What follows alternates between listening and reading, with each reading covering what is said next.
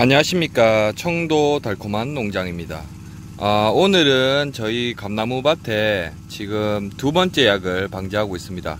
지금 5월 달에 방제를 한번 했고요. 그 다음 6월 달에 지금 방제를 하고 있습니다. 어, 그리고 지금 날짜는 2019년 6월 9일입니다. 어, 그리고 이게 이번에 칠 약제거든요. 6월 달에 칠 약제입니다. 어, 여기 보이시는 다이셈 45라고 적혀있죠. 요거 두 봉지와 파만 농프리옥신 하는 거 요거 한 봉지.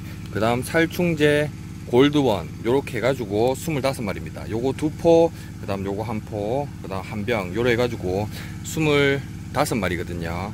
어 그래서 저희는 지금 이번에 6월 달에는 어, 275마리를 지금 치고 있습니다.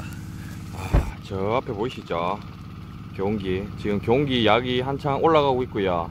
아, 버지는 지금 열심히 방제를 하고 계십니다. 지금 현재는 줄을 안 땡기고 어, 칠 수 있는 곳이라 가지고 어, 지금 현재 제가 지금 영상을 촬영하고 있습니다.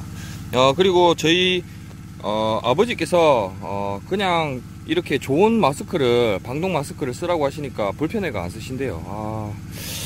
그렇네요. 좀 몸을 생각하셔가지고 좀 좋은 걸 쓰시면 좋겠는데 아버지가 불편하시다고 안 쓰신다고 하십니다.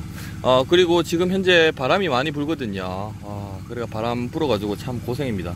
새벽부터 지금 새벽에 한 4시 정도에는 바람이 많이 안 불었는데 한 아침 7시부터 지금 바람이 계속 불고 있습니다. 그래가지고 바람을 등지면서 아버지가 약을 치시고 계셔가지고 허실도 많고 어, 좀 그렇습니다. 힘도 들고 하는 상황이라 가지고 참 안타까운 상황입니다.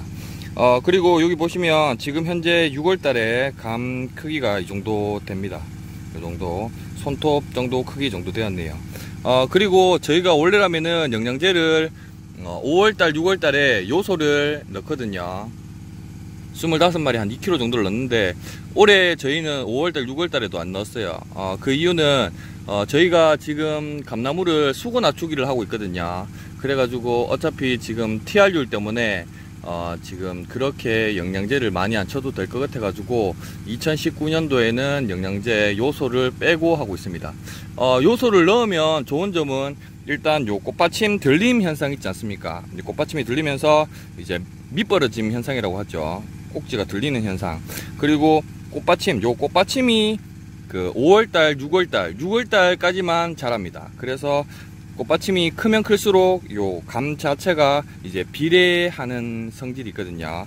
꽃받침에 비례해서 감도 커진다는 그게 있어 가지고 5월달 6월달에는 요소를 넣어서 치시면은 감 굵은 것도 좀 도움이 되고 어, 밑 벌어지는 것도 도움이 됩니다. 그런데 어, 7월달 8월달 9월달에는 요소를 안 넣는 게 맞아요.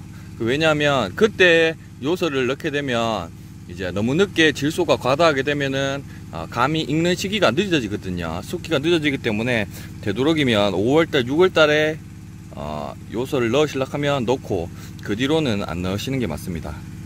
어, 그러면 저는 이제 또 아버지 줄을 땡겨주러 열심히 가야 될 것 같습니다 아, 오늘도 즐겁고 행복한 하루 되시고 항상 즐거운 일만 가득하시길 바랍니다. 감사합니다